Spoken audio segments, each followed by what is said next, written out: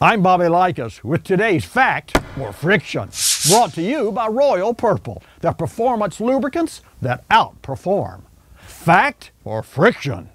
Diesel engines benefit by fuels with high octane. Friction.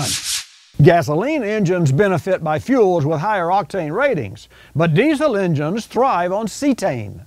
The higher the cetane number, the faster the fuel will burn, which means shorter ignition delays and reduced engine knock.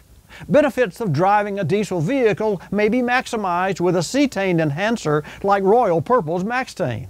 Max-Tane increases the cetane number by 8 when used as directed, as well as improves fuel economy and engine startup reliability.